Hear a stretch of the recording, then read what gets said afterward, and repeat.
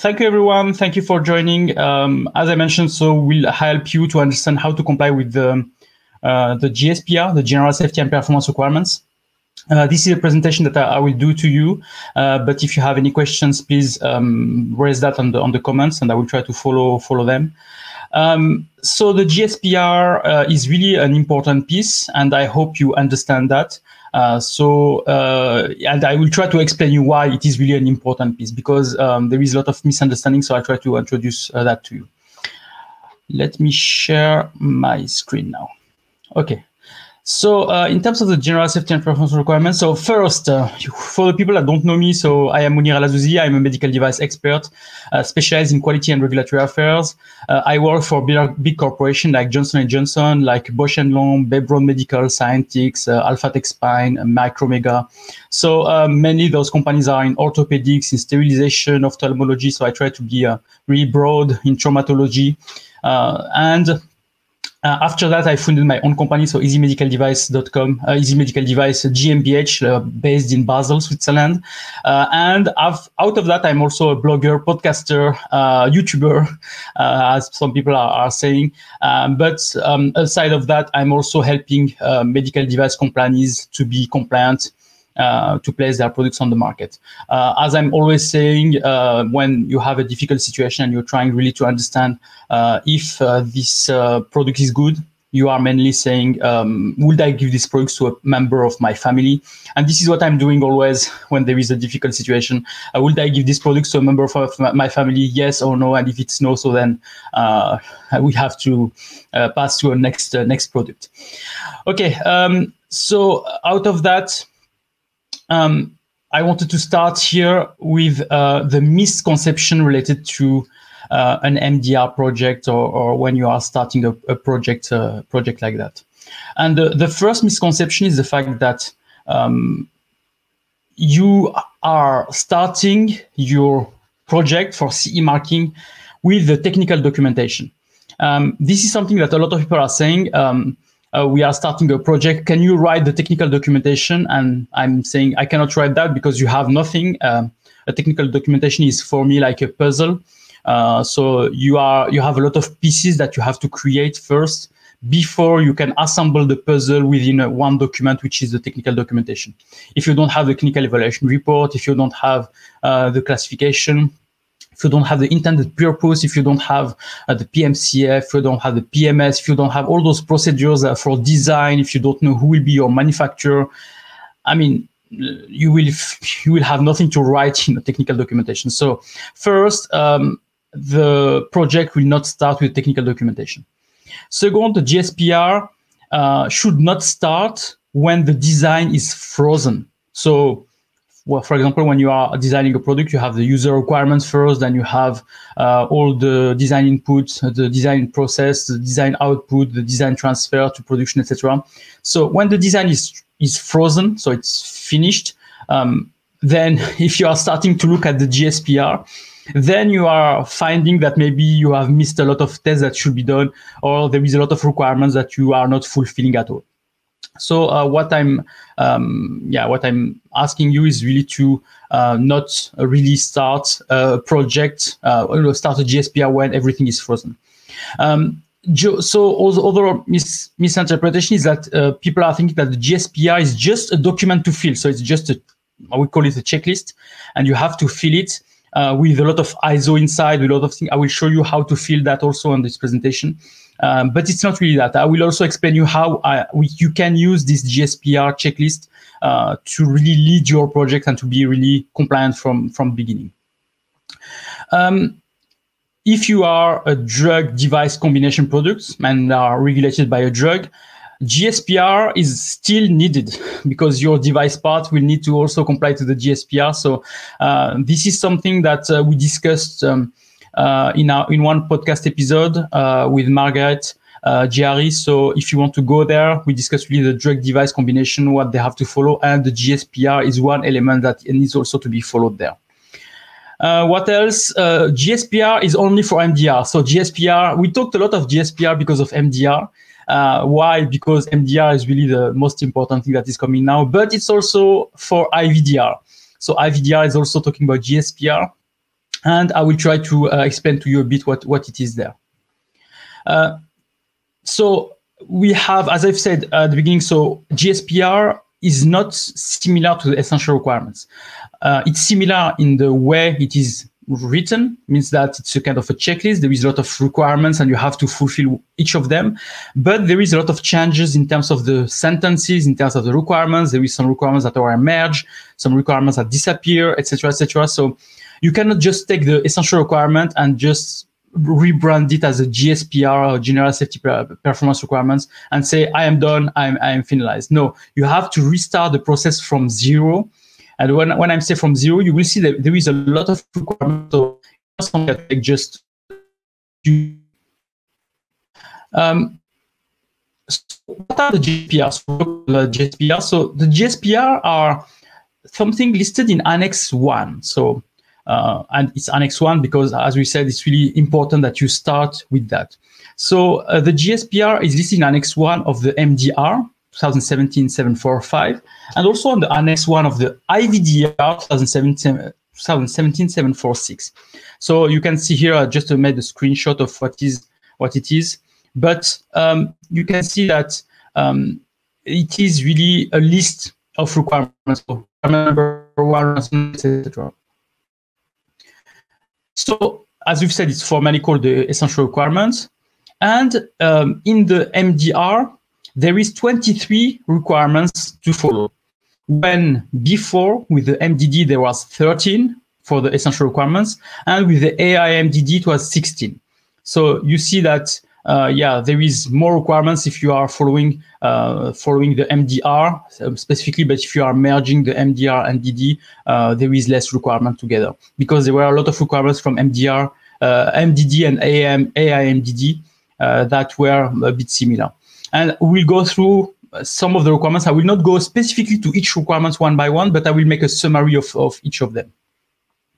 For the IVDR, it was it is 20 uh, topics to comply with. Um, in terms of uh, IVDR, uh, so there is a bit less, but uh, it's exactly the same thing. So you will see also on the structure, they were there are also three chapters, and there are also the same kind of structure that has to be followed. Um, but yeah, there are different requirements because an in vitro diagnostic medical device is not the same as a normal medical device. And there is no grandfathering. So you cannot take, as I've said, the essential requirements or what you had before and just um, and just use it for the MDR. You have really to go from zero. You have really to review one by one again each of the question. You have to check the requirements and see how you can comply to that. So for me, the GSPR is really the bandmaster, the director of any medical device CE marking. If you have to start somewhere, you you should start by the GSPR. I will show you a structure of for when to how to start a project. So what is the first thing you have to do, maybe the second, etc. And you'll see what is the place of the GSPR on that. But uh, it's uh, it's really at the beginning. So for those that um, are still not really understanding what we are talking about, uh, you can you have to imagine the GSPR as a checklist, a checklist of documents, a checklist of requirements, and you have to go to number one, and you have to see how you are complying to that. You have to go to number two, and you have to see how you are complying to that, etc., etc. And there is, as I've said, 23 like that for MDR, 20 like that. I mean, when I say 23, it's uh, a wrong information. There is 23 official topics, but inside there is subtopics. You will see also that uh, on the labeling, there is only one, which is the 20, number 23. But if you open the number 23, there is 23A, 23A1, 23.2, uh, then 23.1A, B, C, D, etc., etc., etc. So there is more, uh, more to look at. Um, okay. Let's check. Uh, um, so hello everybody. So yeah, hello from India. So good time hello Deborah from the UK. Thanks. Uh, hello Barbara from the USA. So hello everybody. Uh, Clara from UK also. Uh, so as I've said, if you have any question from what I'm saying, so let me know and I'll try to uh, to to answer to that. Uh, hello Mutalib from Malaysia. Okay, so next one. So the GSPR chapter. So here is a bit of the high level of the structure of the GSPR. We have in one side the EU MDR 2017-745, And inside there is three chapters. There is the first chapter, which is the general requirement. Number 10. number two, the chapter number two, which is the design and manufacturing requirements, which goes from number 10 to number 22. And you have number uh, chapter three, which is the uh, label and IFU requirements, and it is just the number 23. The number, the chapter one, is mandatory for everybody. I mean, there is just one section maybe for Annex 16 where uh, the number uh, nine is specifically for Annex 16, but for the rest, sh sh everybody should follow that. Number two, chapter number two, there are things that you have to follow and things that maybe are not applicable to you. So you have to justify why it's not applicable to you, and then you can pass to the next one. Yeah, one thing is important is that there is 23 requirements, but if you, you for example, one of the requirements is that like uh, uh, my product supply some energy, and if your product is not supplying energy, let's say a scalpel or anything like that, uh, then you can pass. You can say no, not applicable. My my my device is not supplying any energy. It's not an active device, etc., etc. So you can mention that, um, and then for those that are applicable, then you have really to comply to them. Then chapter three, there is the labels and IFU. I have a lot of questions from people that are asking me, Monir, um, I have my products. I need to place that on. I have need to have a CE marking. What should I place on the on the device, uh, uh, on the labeling, on the IFU?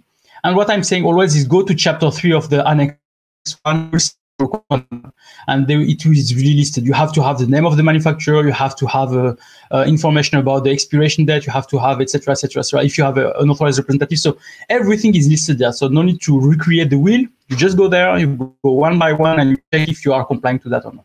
Same. If your product is not sterile, no need to put not sterile. But if it is sterile, you have to put the sterile logo maybe and the, what, what, what sterilization process you are using. If you go now to the EU IVDR, you'll see it's exactly the same structure. It's chapter one, general requirements, one to 10, uh, to eight, not to 10, uh, not to nine anymore. Chapter two, the performance and design and manufacturing requirements from nine to uh, 19. And it's the same. It's also conditional. So there is some elements inside that maybe are applicable and some that are not, maybe not applicable. So uh, if your device has no electronic inside, etc., there is a full section about that. You can, you can make not applicable because my device has no electronic at all.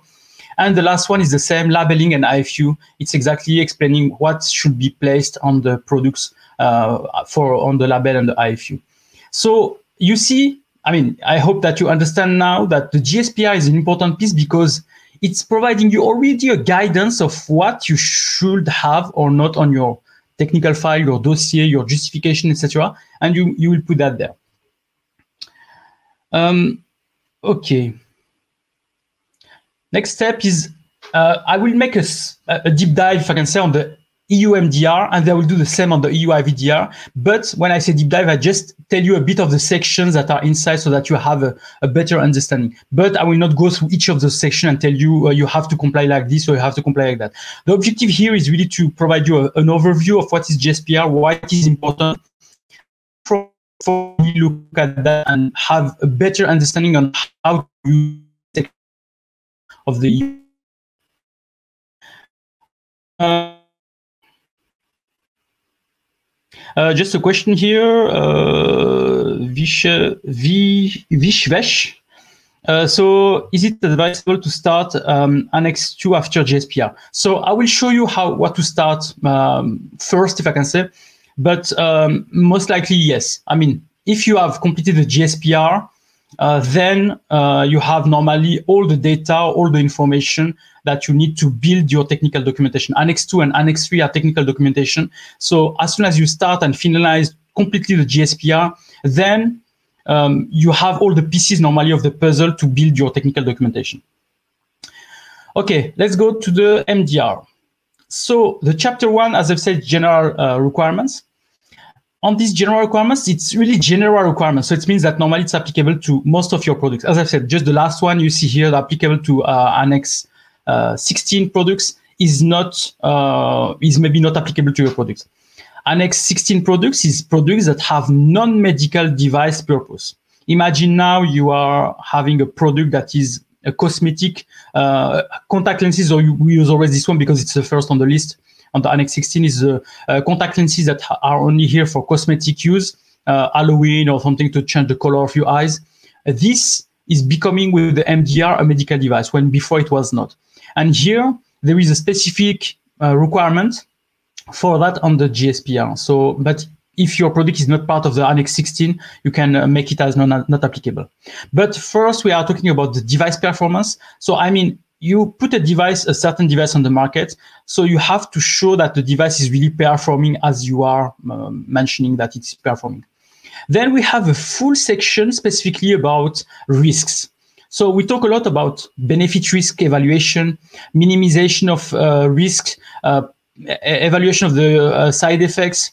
You have also a full chapter or full element talking about the building of the risk management system, which is mainly following the ISO uh, 971, and it's saying to you, you have to have a risk management file for each product, etc., etc. So this is um, a big chapter, a big, a big element. So what does it mean? It means that first I have to evaluate my the performance of my products. Second, I have also to evaluate the risk of my products and evaluate that with the benefit of it, etc., etc. So it's it's important maybe also to understand that when you have that, it means that I have to build my my risk management uh, system. So for that, I will go to the ISO 14971. So for that, I will play, I will put that, that, that, that, that, that in place. So if I do all this, then I will comply to this uh, requirement.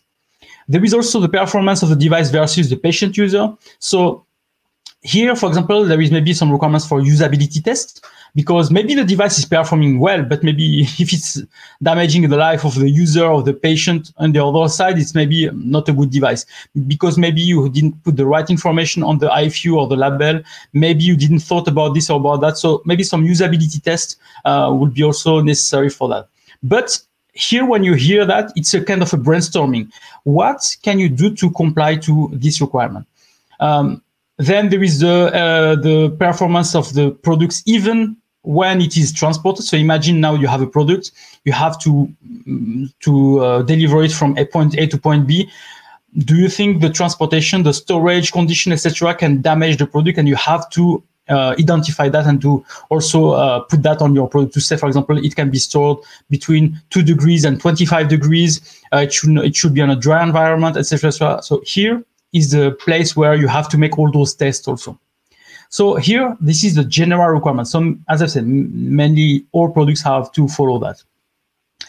Then we have chapter two, which is the design and manufacturing requirements. And this depends of your product. For example, here from the 10 the section from the GSPR 10 to GSPR 22, there is some topics or some sections that will be discussed. Here we are talking specifically about the chemical, physical, and biological properties. We have to design the products in a way that the chemical, physical, and biological properties are uh, performing well, that they are following the requirements, that they are minimizing the risk of contamination. So if you are using a, certain material that is maybe increasing the potential contamination of the patient, even if it's performing well, but it's also in another side um, performing, a, I mean, allowing contamination of your uh, of your patient, then it's not a good product. So you have to show that there is no contamination of your products uh, possible. Um, you have also the CMR, so um, uh, on the on the product. So here it's more uh, something for the commission that they have to place to put in place some guidance. So it's not something I will put on the GSPR specifically, but it's something that is listed on the that the commission has to uh, have some guidance in terms of phthalate and of CMR. Uh, but uh, yeah, it's uh, it's uh, it's something that um, you'll have to follow when they will be uh, available. Um, then the labeling requirements also related to chemical, physical, physical and biological properties. Um, you have to reduce the infection as low as possible. If there is a sterile condition, you have to maintain the sterile condition for the products, for the packaging, etc. If the device is incorporating medicinal substance, then you have some requirements to follow. If it is uh, incorporating some material of biological origin also. But as I said, if your device is not sterile, if your device has no medicinal substance, if your device has no material of biological origin, there is no specific need to uh, follow that. So you just have to put a justification why uh, it's not applicable to, uh, to your product. Um, then we have all the rest of the list. As I've said, we have construction of device and interaction with their environment. So it's also important that uh, you are um, also evaluating the environment of the device. We have, for example, some electronic devices that maybe are emitting some radiation or emitting some some some some electromagnetic things uh, that can um, damage the environment, or maybe the environment can also damage the device. Maybe it should not be put outside. Maybe it should not be put in an environment where it's too hot, etc., etc. So you have also to evaluate that to confirm that your device is operating in every environment, or if there is some restrictions also. Um, protection against radiation, uh, electronic programmable system, active devices and devices connected to them, etc. So you see the list is going more specifically in terms of certain devices. So when you are reading that, as I've said, if you see my device is not an electronic, so you can already uh, put not applicable, etc. etc. So, but you have to go through each of them one by one. Uh, general recommendation regarding then the labeling and information to be supplied to the uh, manufacturer. And here as I told you, all requirements to for the manufacturer, which information he has to provide. Like for example, he has to provide the packaging information, label, uh, instruction for use, etc. What information should be on the label? What information should be on the uh, packaging? Uh, what information should be on the instruction for use? And here you have a full list of what normally should be mentioned there. Um, so you have to go through this list, and what we are using because the labels are getting smaller and smaller and smaller. What we are using is you are we are using some uh, logos, for example, that are some symbols that are uh, coming from some uh, some standards. So if you the uh, for I'm following uh, 22 and sugar. Uh, and you have also uh, following these requirements and these requirements, and you are just listing which requirement you are following, um, because the auditor will ask you what is exactly the standard that you are following to put this information on, on, on the market. Uh, okay, so just looking quickly on the questions. Um, uh, can we follow share guidelines to, for phthalate? So for that, I don't have the specific answer to that because it's mainly the the specific requirement for phthalate. But uh, the commission should tell you normally for medical devices which uh, guidance should be followed. Um, I'm, I didn't check, but I, I, didn't check if there is a guidance that was issued specifically for phthalate or for CMR. I will check and maybe I will try to come back to you uh, later about that. But uh, if there is already a guidance that was issued and that this guidance is also including uh, the medical devices inside, then yes, you have to. I mean, better to follow a guidance that is already existing than uh, waiting for the medical device to issue guidance that maybe will be coming late. So uh, as soon as you see a guidance and the content makes really sense for medical devices, then use it. Uh, I will have to check specifically if there is one for medical devices, but if there is also already the cheer guidance that is existing, you have just to evaluate if your products can really apply this guidance. Okay, so um, now for the IVDR. IVDR, as I said, it's also the same three chapters, and we are going the same. I will go more quickly on this one because um, majority is really the same. So the chapter one is uh, mainly the general requirements, and we have the device performance again. We have the benefit risk again, the risk management again, the performance of the device versus the patient again, uh, the storage condition, transport condition again. As you can see, it's nearly comparable. It's really, they are trying really to provide the same information. There is not the number nine, which is the Annex uh, 16, because there is no Annex 16 or no products that are non-medical device within the IVDR. Chapter two, then we have here specific requirements for IVDR. So it's not like something specific for every device, it's really IVDR. Performance characteristics, chemical, physical, and biological properties, infection and microbial contamination, device incorporating material of biological origin, so the same as a medical device also. Also the uh, interaction with the environment, uh, uh, protection against radiation. So you see also that there is a lot of elements that are similar Um, but there is elements that are uh, that are uh, also specific to the to the IVDR, like the last one, which is protection against the risk posed by devices intended, to, intended for self-testing or near patient testing. So it's something that is specific there to uh, to the um, to the IVDR. And the last one, only one, which is the number 20, which is again the labeling. What are the requirements for uh, information to be provided to uh, to the uh, to the patient or users? What are the information to be placed on the label, on the packaging, on the instruction for use, etc., etc. So as you can see, um, the MDR and IVDR, and you have maybe identified that the MDR and IVDR really uh, if I can say the, the, the, requirements one one to the other. When it was not the case between the MDD and the um, IVDD. So here we are seeing that a lot of articles from the MDR are exactly the same with the IVDR. And here you see with the Annex 1, GSPR, some of the elements from GSPR are exactly the same. And you see also with the classification. The chapter for classification for MDR is following the same rules. IVDR is following the same type of rules when before it was a list, list A, list B uh, that were that were mentioned. Uh, just looking again to these questions. Uh, uh, so somebody saying, uh, I hope you'll cover 10.4. Um, it's a hard topic. So if you can just, I don't have it open, so I don't know about how hard, which is this one. So just tell me again, what is the 10.4? Uh, can you please elaborate on label on packaging requirements uh, for device radiation therapy?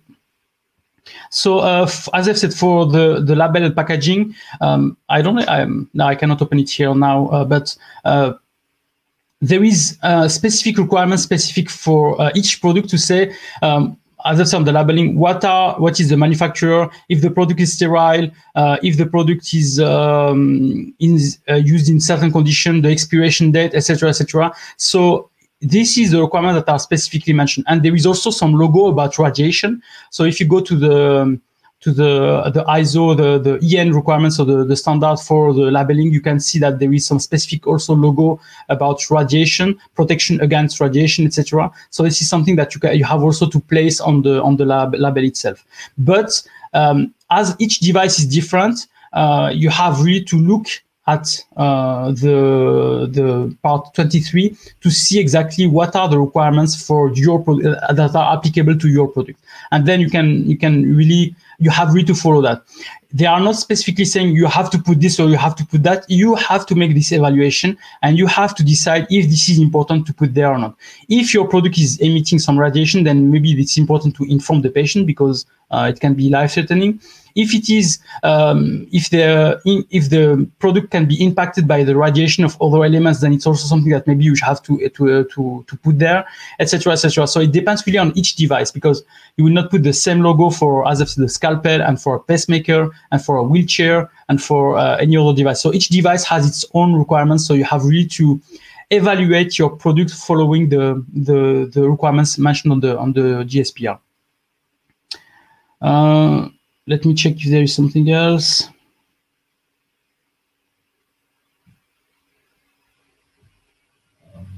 Collection. Yeah, I'm curious also this uh, thing. So uh, check it out. Okay, okay. Demonstration of compliance. I will I will go to that. So um, let me go to that. So how to document the GSPR. Um, so the GSPR, as you've seen, is just a, a, list of requirements. What we are doing and what I'm proposing, and it's also something I will show you, I have created a template for that. What we are doing is something like that. So we have the GSPR ID, so number seven, for example, which is the device shall be designed, manufactured, and packaged in such a way that their characteristic and performance um, are not affected by the transport, etc., storage condition, etc. And what we are doing is that we are mentioning here first, is it applicable? Yes. Um, and then what is the method that I'm using to show conformity to this requirement?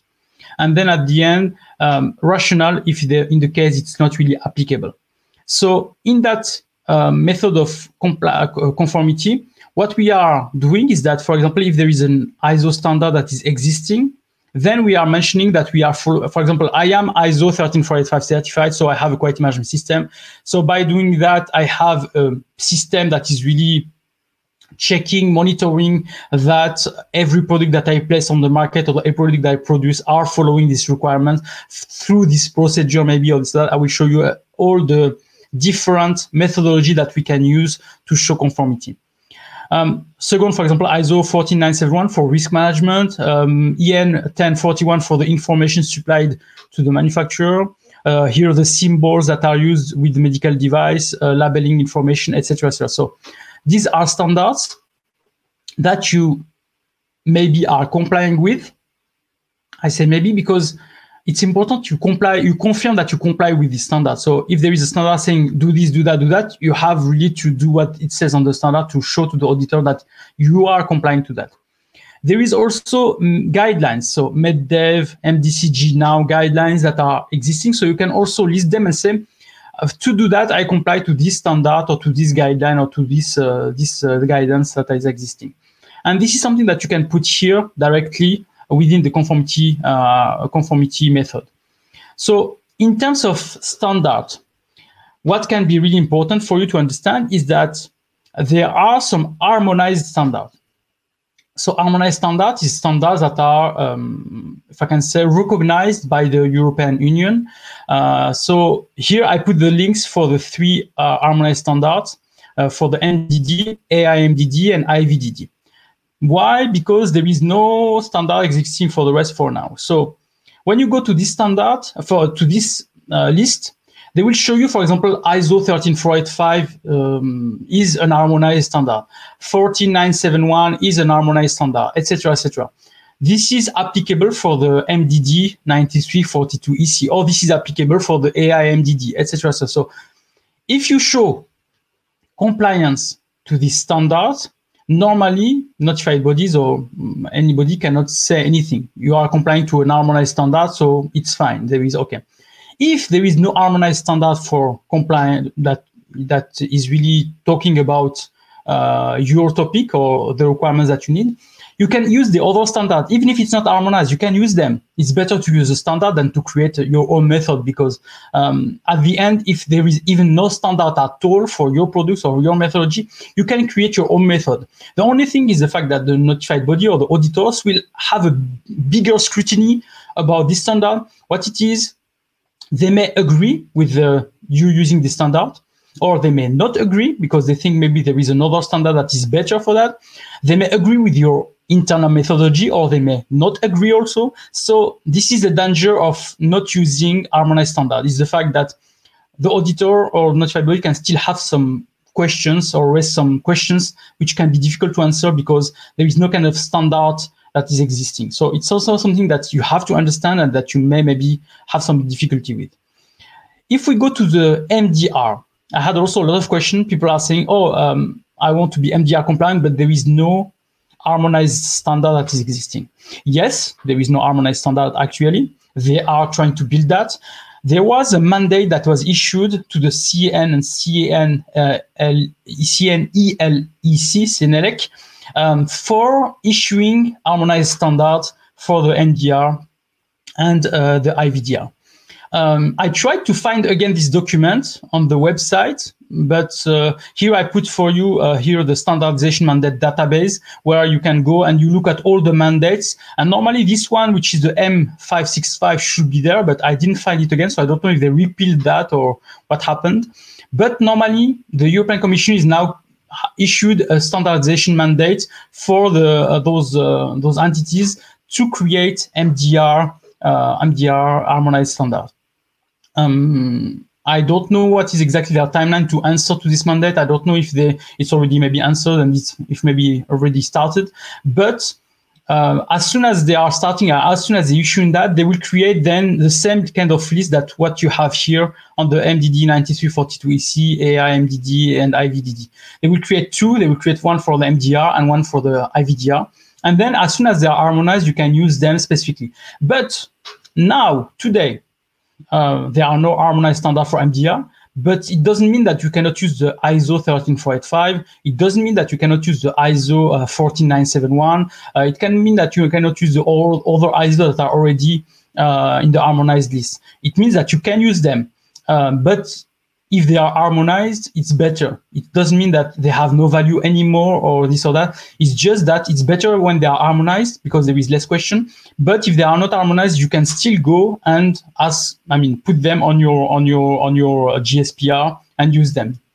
I doubt that the ISO 13485 will not be harmonized. I doubt that the ISO 14971 for risk management will not be harmonized. So, um, I mean, we never know, maybe. But uh, but I doubt that there there is this thing. Um, let me check again. Uh, yeah, um, this is a good question. Is the method of conformity uh, in the method in the method of conformity? Uh, do we need to mention the year of the standard?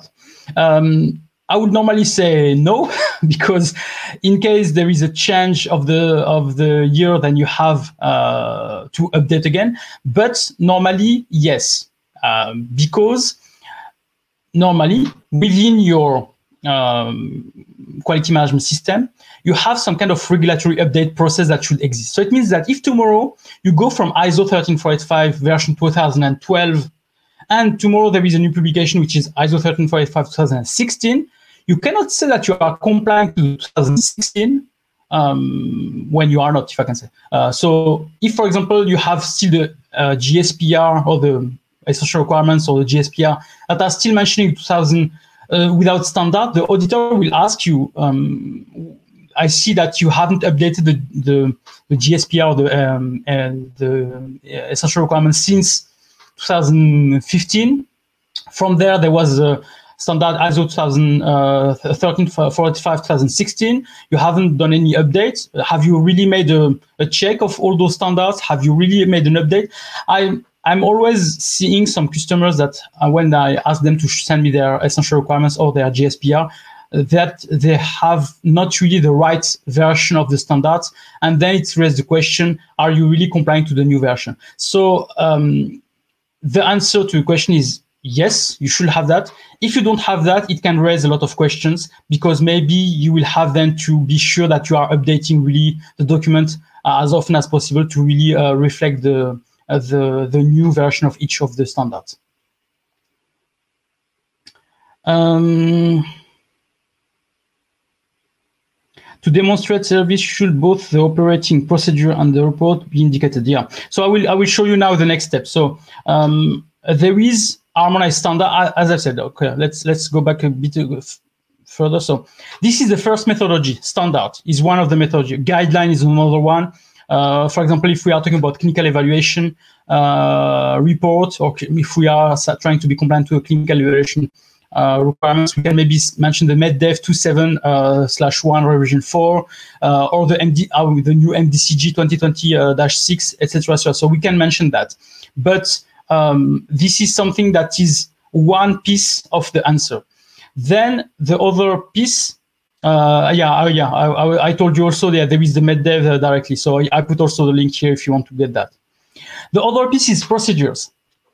Um, you have a quality management system example, we talked about the ISO 14971, which is the ISO for risk management. Then you have you can also show that you have an SOP for the risk management procedure. Uh, you have um, SOP for creation of a packaging material. You have an SOP for the inspection and release of finished product. This shows also that okay, you have an ISO, but you are also um, following the requirements of the ISO by having a procedure that is existing on your quality management system, and you need a procedure for risk management on a quality management system. Uh, so it's something that you have also to list there.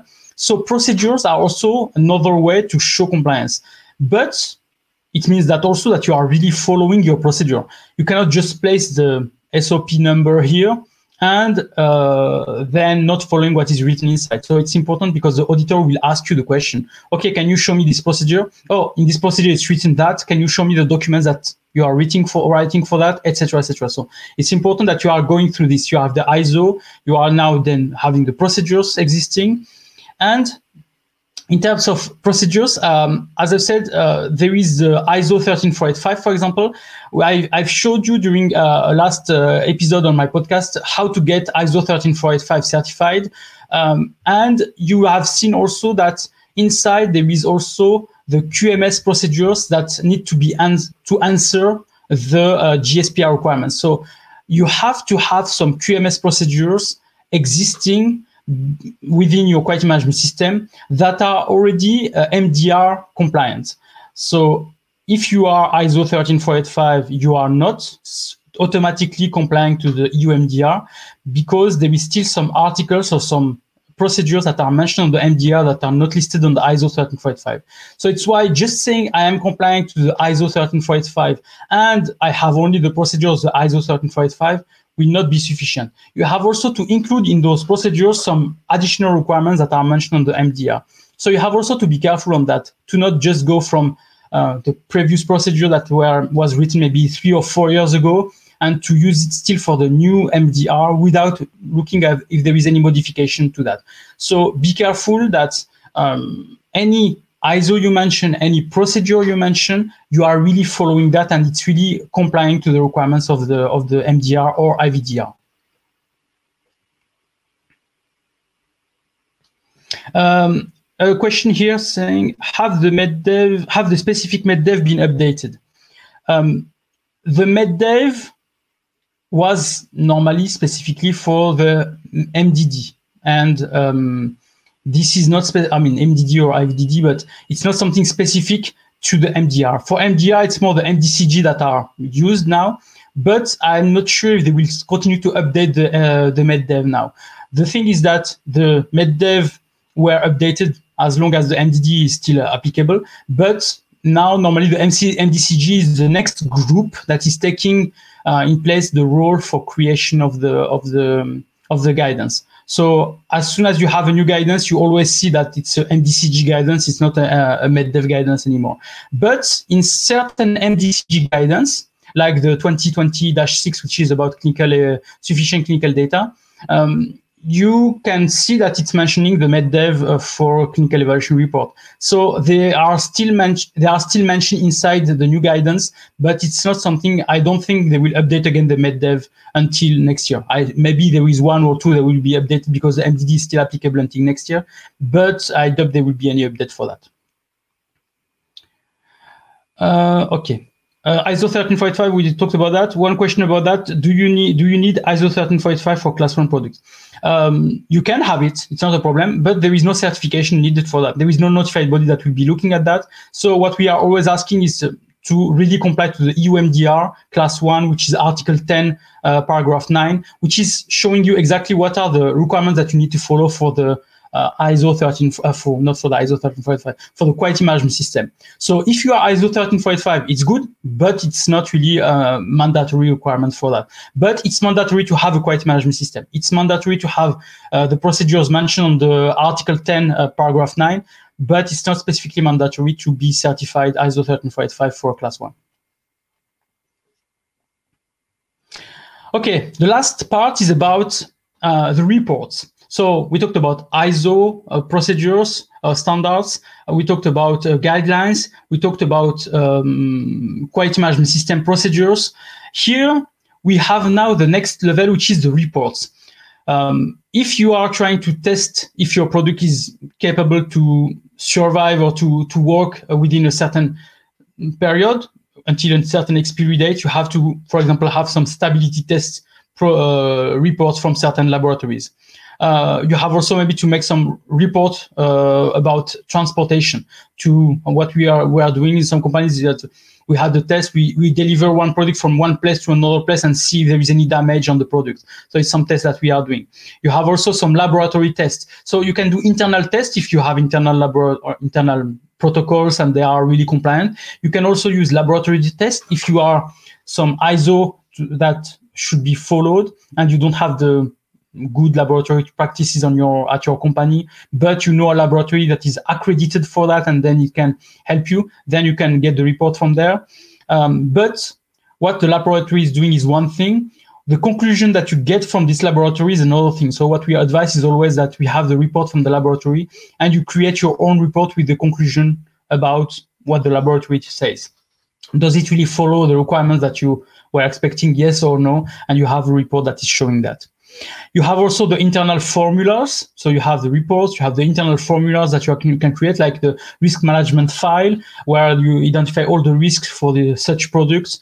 Um, the packaging design also, you have maybe a form saying, for this product, I uh, for this packaging, I will use this logo because it's sterile. I will use this logo because it's a expiration date. I will use this logo because there is a authorized representative, etc., etc. So you have maybe a, a form like a checklist with all the requirements and you say i will follow this and follow that what is good is to create this kind of checklist or form um, that is really listing all the elements about the um, the GSPR 23 or GSPR 20 for the uh, IVDR.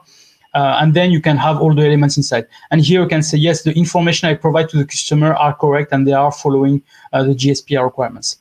Um, you have also the product packaging, maybe uh, the IFU, the label. So you can also list that as an evidence that yes, I'm providing the right information to my patient, to, to, to the people, and here is uh, here are the documents. Uh, okay. Next step is okay, accredited laboratory. So it, this is also something important. It's why I told you, even if you receive a report from an accredited from a laboratory, first, I mean, first, normally on your quality management system procedures, you have to verify that this laboratory is really capable to do what you are asking them to do. So the fact that they are accredited for a certain standard is good, uh, but you have to verify that it's not something that uh, uh, you have just to assume because on their website they said yes we are capable to do the test for uh, biological compatibility, biocompatibility, or this or that. You have to check that they are really accredited for that. And even if they are accredited, you receive the report, they will give you some conclusion. You have to interpret those conclusions following your information. Um, is it really that uh, that you are expecting? Is the report really mentioning all the elements that you are um, that are, are applicable to your device, etc., etc.? So you should not just get the report and put it on your uh, dossier or put it on the GSPR, you should maybe also make a conclusion report that's saying uh, we had this protocol number blah blah for this test, we had this result, and it's following our protocol, and we approve that, etc. So you can have also a report that is really making a summary of all what was done to uh, arrive to this compliance. So. Um, Internal forms, as I said, should be also uh, can also be used, but you have to be careful. If there is a specific ISO standard, you have also to prove that the people that were issuing those reports or uh, issuing those elements are understanding those documents. Because the auditor can ask you a lot of questions, and if you are not qualified, uh, then they can raise the, the question and say, okay, maybe you are not the right person to talk with, or maybe this company doesn't have qualified people for this type of, of elements. So you have always to, mm, yeah, be careful uh, about that. One question that I received today uh, is about um, clinical evaluation report. Um, and I raised this question to uh, my guest of my next podcast, uh, and you will see that on Monday. It's about clinical evaluation report. Um, what is the link between clinical evaluation report and uh, essential requirements or GSPR? In the MedDev, for example, it specifically said uh, in the MedDev for clinical evaluation report, it specifically said you have to follow to show compliance to the essential requirements number one, uh, three, and six. Um, and I for AIMDD also uh, for AIMDD also. I will just show you now here. Yeah. So um, you have the MDD that is saying you have to follow the requirements for uh, ER1, ER3, and ER6. For AIMDD for ER1, ER2, and ER 5, which is the essential requirements. But what is it for uh, GSPR? So for GSPR, you have to follow um, as minimum number one and number eight. Because when you are making a, um, a review of the MD, the essential requirements and of the GSPR, you see that the number one, three, and six are compatible with the number one and eight of the GSPR. And uh, the thing is, you have to understand also that it's not sufficient.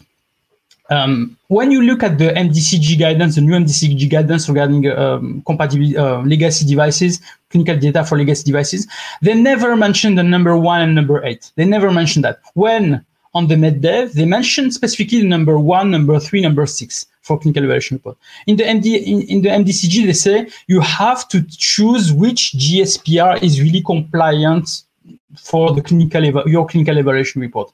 So as I've said, for me, when, when we study that as a minimum, the number one and eight should be followed. But for example, if your product is part of the Annex 16, then number nine is also has to be followed. If your product has some medicinal product inside, then another uh, GSP has to be followed. So it will depend on uh, the type of product. It will depend on a lot of things. So um, don't be surprised if on maybe on some clinical evaluation reports for under the MDR, there will be some additional additional GSPR that will be listed. It's just because you have really to check which GSPR is really applicable to, to you. So you see here, even when you will build your G, uh, clinical evaluation report, the GSPR is really a central piece because you have to show compliance to one of those requirements that are maybe talking about clinical evaluation.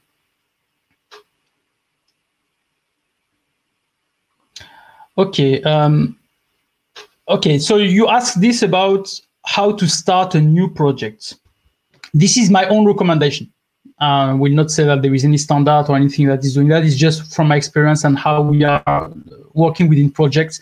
And we discussed also about that, um, uh, some of those elements that I will show you. We discussed about that on other uh, other videos or other uh, podcasts. So what I will first start with is with the bad practices. As uh, as we said, is that uh, we wait first that the project is finished.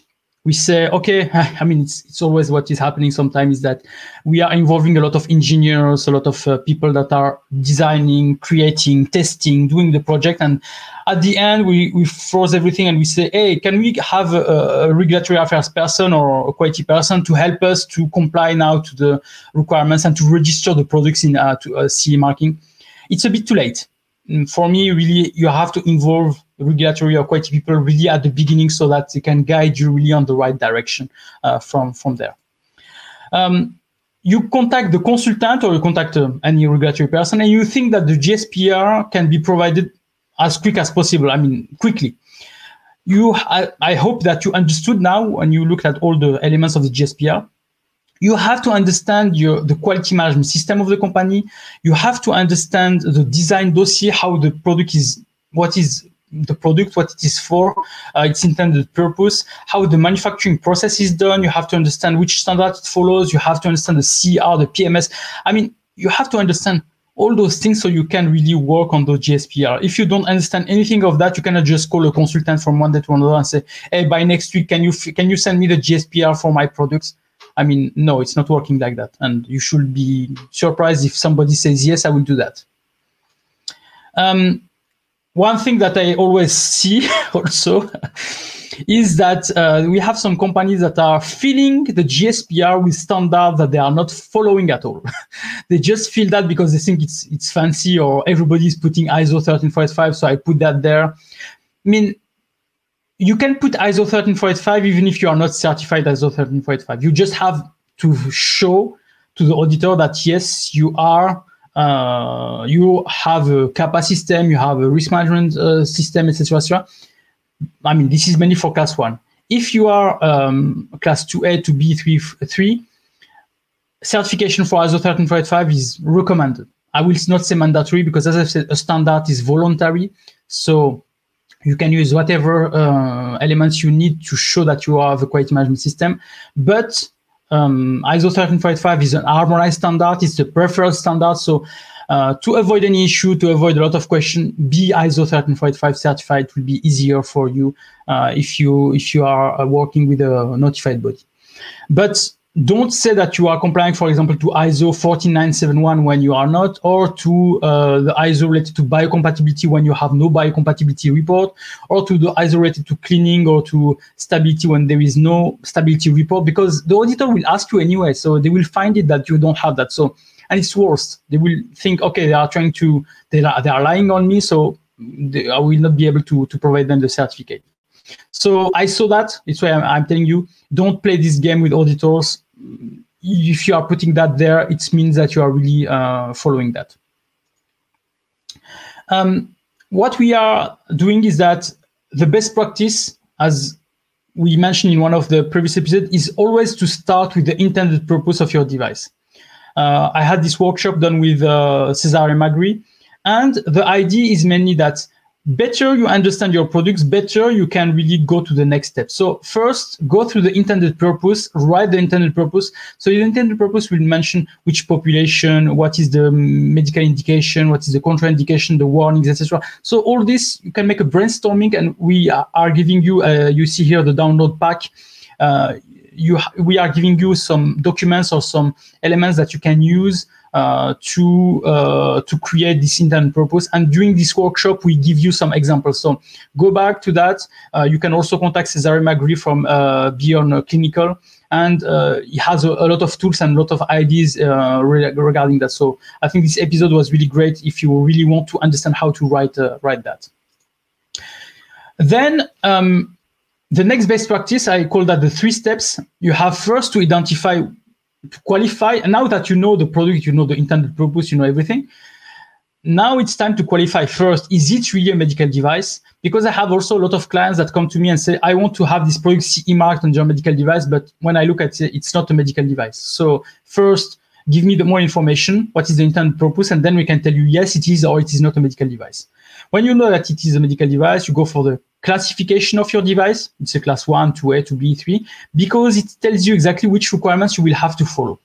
And then you know which conformity assessment route you need to go. So it's mainly I want to go for a full quality management system review or a type examination, etc., etc. So you decide, but it depends also on the classification of your product. If you are class one, it's self-certification. So there is no need of notified body. You just need to have a technical documentation. You need to have a quality management system. You need to have following the minimum requirements for the MDR, and then you can place your device on the market. But for others, you have many routes that are uh, possible.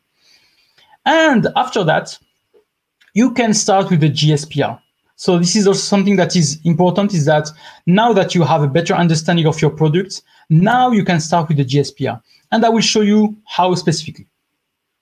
And yeah, um, I had also this workshop or this uh, case study uh, episode where we discussed about how to classify a medical device. Uh, so um, you can go to to that, and I will give. It was it was made on a quiz episode. Like uh, I give you some examples, and I ask you to classify them, so you can you can see uh, if you if if you know how to do that. I mean, it's it's more for practicing and, and practicing. So uh, you can go to that.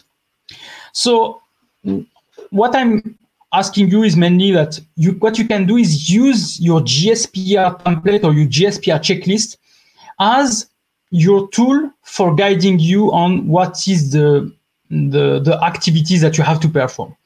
For example, let's take again the example of number seven, uh, which is a device uh, shall be designed, manufactured, and packaged in such a way that uh, it's not damaging damage during transport and storage. So the question you have to ask yourself with that is, how can I comply to these requirements?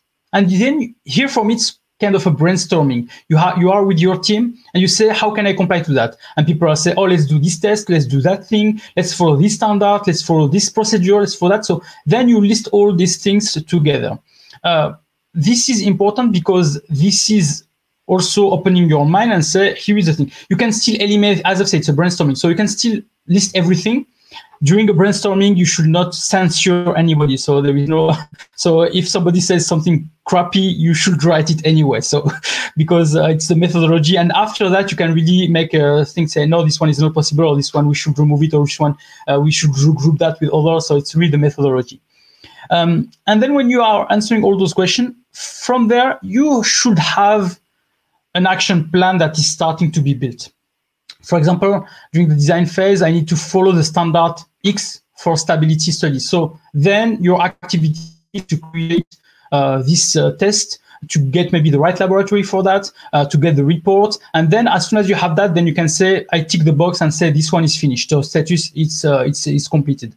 And here are, for example, all the action plan. And here you can put also the responsible person. You can put, also put the timeline, when this should be available, etc. It's really based on a project. You are really doing that like a project. So you can use this template or the template that uh, that that is existing to use it like a project uh, project basis. So and there you go from um, GSPR one is for this person to work on, the GSPR two is for this person, and as a team, you see what is the progress of all this to arrive to the end.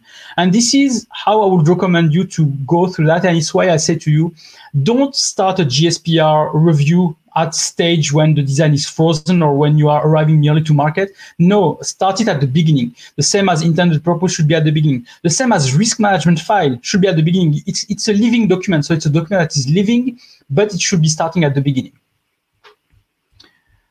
Uh, okay. And then, as I've told you, when you have the GSPR, I mean, I don't know if you had already a review by an auditor, but the auditor will open the GSPR and will start ask you question about that. And I just made few questions that, that you can see how it is working. Um, so for example, GSPR 3, which is about risk management. So you are mentioning that you are complying to the ISO 14971. Can you please show me the risk management procedure, the plan for your device, the risk management report with the result of your assessment? This is the type of, of question that you can get from an auditor if you are showing compliance to uh, the ISO 14971, for example. On your post-marketing report, you identify some risk. Have you updated your risk management file to verify if the risk is a risk score is changing? So normally when you are making your risks, you define, for example, the risk of probability of an issue is uh, low, the risk of the severity is high, the occurrence is uh, this uh, thing, etc., etc. So at the end, it gives you a score. But if you receive a lot of complaints about this specific risk, it means that the probability is not low anymore. It is maybe high or it is moderate. Then you have to update your score.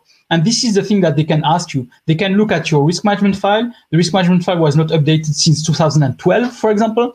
And you can say, okay, it's not maybe not a living document. Maybe they are still using the, the data that they got from 2012 and they didn't use the data from, from the PMS, from the compliance to update that file. And this is an example. If your date of creation is two or three years ago, it's a, a sign for an auditor to say, oh, maybe they are not really following uh, the requirements here. Uh, where are you analyzing your ratio benefit risk and why do you consider it positive? So benefit risk ratio will be a big question and we discussed about that on other episodes. Um, so it's something that you have also to show for example in your clinical evaluation report that you are making the evaluation of your risk of your benefit and say that it's better to have this product than not to have it because the benefits are higher than the risk. So this is a discussion on how you will do that. I see a lot of people that are just putting one sentence um, kind of standard to say yes, my benefit is higher than my risk, so I consider my product is, is good. Yes, but how do you do that? There is no real justification. So please be careful also on that. If we go, for example, to the GSPR 23.1, um, which is about instruction for use. So your product is not accompanied by an instruction for use. What is the reason? For example, you have a product and it looks and there is no instruction for use with it.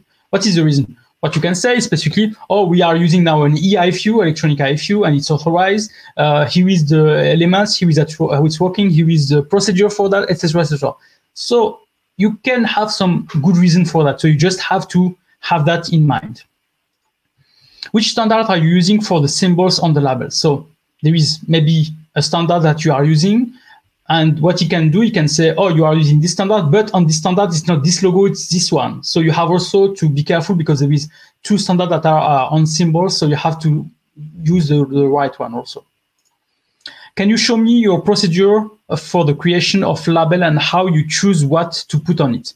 So as I've said, when you are creating a label for first-time products, you can have maybe a procedure to say, uh, for a sterile product, I would put this, for uh, this, I would put that, etc. So he can ask you, show me your procedure, show me your form specifically for this product, show me the label that you have to see that what you decided on the form was really what is on the label, etc., etc.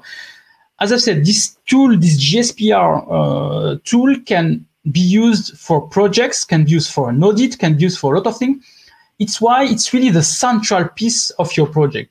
If you are really having this document, if you are really having all the information uh, listed there, if you are really looking one by one what it is, you can really succeed with uh, an audit or you can succeed with your project because here this helps you to create all the pieces that you need uh, for uh, placing your for, for being compliant to the, the to the MDR. Um, and it's why also don't make it like a, an easy task take it really like a project. It's a project really for you to to to be to be placing that uh, to be uh, complying with the GSPR. Um, okay, yeah. Last question. When we reviewed risk, we identified some residual risk. Are there communicated to the user? Where can I see that? So yeah, you have some residual risk. It says that you have to communicate that to your user. Maybe you are you have that on the instruction for use. So let's show on the instruction for use that the risk, the residual risk that we identified, maybe this is the residual risk that are coming from this uh, risk management file. This is the ones that are mentioned on the IFU. Imagine tomorrow that you are finding a new residual risk, then you have maybe to change your instruction for use to include that or justify why you didn't uh, you didn't include that there. Okay, last point is about GSPR templates. So uh, I'm creating some templates, and one of them is a GSPR template. It's on my uh, shop, so easymedicaldevice.com slash shop. And you can see specifically that uh, I try to list all the GSPR there. There is so this is built on three uh, steps. Uh, there is a step where you are uh, having all the information about how to comply to the GSPR. Second is a list of all the uh, all the standards, all the documents that you are using specifically. And number three is the, then the, all the requirements GSPR 1 to GSPR 23 uh, about how you can follow, follow to that. Okay, let me check quickly if there is something. Uh, should the GSPR be a control document? Yes. I mean, GSPR can be updated. So normally first the GSPR should be on your technical documentation. As I've said, it's a piece of the puzzle, so you have to have that on technical documentation. It is one chapter of the technical documentation. Um, what I'm asking, what I'm doing usually when I'm building a technical file, I put that on annex one of the technical file uh, as a control document also. But it means also that each time you will change this document, it's like updating the uh, the, the technical documentation because the GSPR should be listed inside your um, your uh, your technical documentation. So it should be saying, yeah, uh, you have to go to Annex One for uh, finding that. So you have to have also an history why you change the GSPR. You have revision one, then revision two. Why? Uh, what is the change with revision two? So this is why it should be a control document. You have to make a number of it. You have to make a revision of it. You have to make pages one to uh, 32, etc. But you have to have a tracking of what changed from version one to version two to version three. And the notified body can has also to have this information because if this year it comes and it was version three, and next year arrives and it's version five, what did change? What is the, the thing? And notified bodies also like to see that there is living documents and changing, and there is a good reason for that. What they don't like is that to see some documents that were issued 10 years ago and they are still not changed. So it's something that's why you have to show that you are really updating uh, frequently and why you are updating. But if there is any major update of your GSPR, this is maybe one reason for an auditor to review again your technical files. So you have to really identify what is the change. If the change is really a small change because of a typo or because you updated one uh, one ISO standard, uh, then it's fine. I mean, you have just to explain what is the change and it's fine. But if it's a major change, then you have really to communicate also with the notified body, and each notified body is different. So you have to communicate with them. When should I inform you of any change? And then they will tell you. You can inform me on, at that moment or when you arrive to that uh, that, that situation better to communicate with your notified body. I had this case when they were coming to audit me and they say, "Oh, you didn't inform us about this and you didn't inform us about that," and it's it's true. You have to inform them. So better to inform them, and they will say to you. Usually, what they are saying to me each time I inform them, they are saying to me, "Okay, we'll review that during the next uh, audit. So during the next time we are coming for an audit." So it's not like they are reviewing that immediately. It's just like, okay, it's a change, but it's a minor change. You identified that, and we'll review that during the next uh, next audit. What I'm saying here is just as I've said to for you to be on the safe side, but you have really to discuss with your auditors or your notified body to know exactly what are their procedures, what are their strategy uh, strategy for that. Okay, so uh, thank you for those that are joining. So thank you, Anna, for uh, your things. Thank you, Paul. Yeah, I think uh, another great webcast. So thank you. Um, uh, the benefit risk ratio, a qualitative analysis. So uh, we discussed about that. The benefit risk ratio. The issue is the fact that um, we discussed about that during uh, another another episode.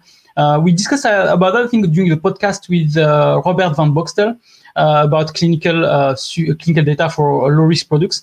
Um, so the benefit risk ratio, there is no specific standard that is existing. There is no specific rule that is existing how to make this. Uh, there is the pharma industry that has some, so we can make a, a kind of uh, uh, we can make some kind of uh, um, extrapolation from what they are doing, but it's a pharma industry, so it's not the medical device industry. So it's not like, as I've said, a product like a wheelchair or a pacemaker or a scalpel cannot be evaluated on the on the same way. So it's why you have really to define your own methodology for that. But you should better to be qualitative and quantitative. Uh, but there is no official method that is existing actually to uh, to evaluate to have a, clear evaluation of the benefit risk ratio. So I know it will be difficult because it will be interpretation from the auditors. Uh, some will accept what you will provide, some will not. But try to be logical, if I can say in term. Don't just use basic sentences to say yes, my benefit is higher than my uh, my risk, so my product is good. I mean, put a bit more matter uh, about that. For example, if the, if if all the risk that you have is like my risk is infection, my risk is uh, this, or my risk is that. But the benefit is the fact that if I don't use that, I will die. I mean, it's obvious that the benefit is higher than the risk. The dying is, if I can say, more is is uh, you, it's better to not die than to just get maybe a small infection or a side effect because of this or that. I mean, it's you has really to evaluate that also. Okay, uh, okay, so thank you everybody. So uh, if you have any question also, so don't hesitate. Uh, here is my phone, here is my email. So just send me an email. Uh, if you have also some other topics that you want me to maybe go through, uh, I will just check some of the elements that you discussed today and maybe create another episode or podcast or maybe a blog specifically about the topics. I will look, look at the phthalate uh, thing and the CMR guidance and see if there is anything related to that. but and maybe make another episode about that. But if there is any uh, anything else, let me know.